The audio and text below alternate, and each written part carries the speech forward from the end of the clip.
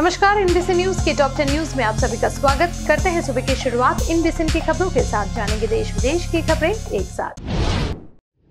इसरो को मिली बड़ी कामयाबी मून मिशन चंद्रयान थ्री का सफल परीक्षण। सिसोदिया को सुप्रीम कोर्ट से झटका, अब दिल्ली हाईकोर्ट जाएगी आप।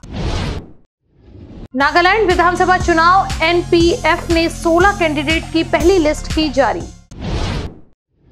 महाराष्ट्र में शराब पीने के लिए बीच सड़क पर एसी बस को छोड़ गया, कंडक्टर हुआ सस्पेंड।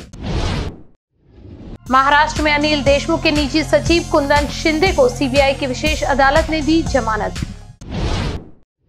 विपक्ष के हंगामे के बाद राज्यसभा की कार्यवाही सोमवार तक की गई स्थगित। मुंबई में आतंकी हमले की धमकी, एनआईए को भेजा गया मेल। तेलंगाना विधानसभा का सत्र आज से हुआ शुरू। 6 फरवरी को पेश हो सकता है बजट। वित्त मंत्री निर्मला सीतारमन बीजेपी सांसदों को देगी बजट की ब्रीफिंग। और एलपीजी सिलेंडर से लेकर तो बैंक लोन तक महँगाई की मार आज से होंगे ये बड़े बदलाव।